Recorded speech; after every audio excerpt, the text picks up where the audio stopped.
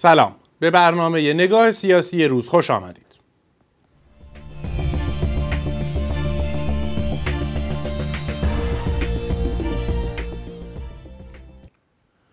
انتخابات 92 از چند منظر با انتخابات های گذشته در جمهوری اسلامی متفاوت است. میراث دو دور ریاست جمهوری محمود احمدی نژاد توأم با سیاست های استبدادی دولت برخواسته از بطن ولایت فقیه باعث افزایش بیرویه بیکاری، گرانی و نابسامانی های اقتصادی و اجتماعی همراه با نگرانی های عمیق در سطح جامعه به خاطر تحریم های جهانی و فشارهای بیش از حد سیاسی ناشی از انزوای ایران و در نهایت خطر تهاجم نظامی را به وجود آورده بود.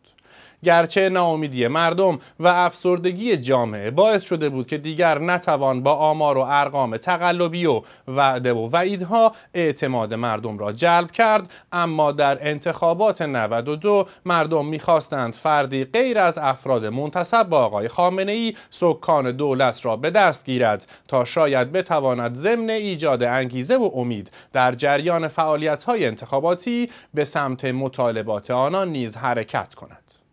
بعد از تقلب در انتخابات 88 سرکوب مردم و شکلگیری بیاعتمادی بخش بزرگی از جامعه سیاست های غلط اقتصادی بوی جنگ ناشی از عملکرد اتمی ایران در کنار دروغ های مذهبی و ادبیات سخیف رئیس دولت همه باعث شده بودند که جامعه به جستجوی ساحل آرامشی بگردد تا بلکه بتواند در فضای تازه و به دور از التهاب آفرینی ها نفسی تازه کند. در این انتخابات مردم به سمت فردی روی آوردند که با شعار داشتن کلید قفل مشکلات پیش آمده و سخنان برنامه محور و آرامش بخشش بر دل مردم نشست و باعث شد یک بار دیگر مردم قدم در مسیری بگذارند که پیش از آن آن را آزموده و جواب مناسبی نیز نگرفته بودند.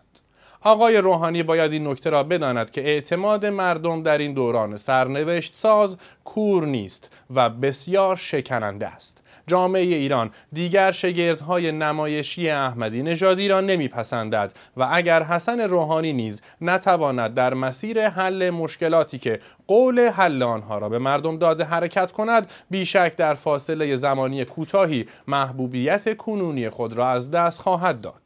مردمی که با حضور در پای صندوق های رل تلاش کردند حسن روحانی را به ریاست دولت برسانند می‌خواهند باور کنند که تغییر ممکن است. این آرزو بود که مردم را به تحرک و پویایی واداشت. حرکتی که یک بار دیگر نیز در سال 88 و برای سیانت از آرای خود در تقلب ایشان را به خیابانها آورده بود.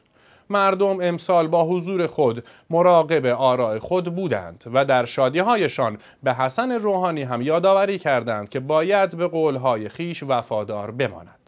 حال این آقای روحانی است که باید پاسخگوی اعتماد مردم در حل مشکلات اقتصادی و معیشتی سیاسی و بین المللی باشد. هرچند پیمودن راه پیش رو بسیار سخت است و میراث مشکلات هشت ساله زمامداری احمدی نژاد به راحتی حل شدنی نیستند. اما آقای روحانی می تواند بار دیگر با همراهی مردم این مسیر را بپیماید به شرط آنکه به جای تکیه بر آقای خامنه ای و حامیانش با امواج خروشان مردم همراه شود.